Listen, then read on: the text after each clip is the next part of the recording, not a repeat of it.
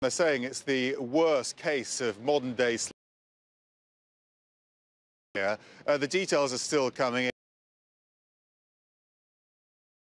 Held captive for more than 30 years in the Lambeth area of South London, still pretty central though. Uh, two people, a man and a woman in their 60s, were taken into custody today. Uh, the three women rescued were a 69-year-old Malaysian woman, a 57-year-old Irish woman and a 30-year-old British woman.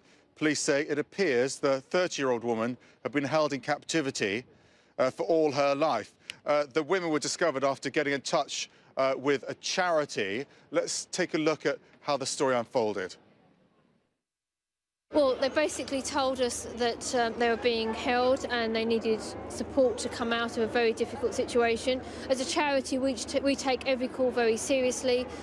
We have a 24-7 helpline which they contacted and from that moment onwards it was very sensitive negotiations in order to assist them in escaping.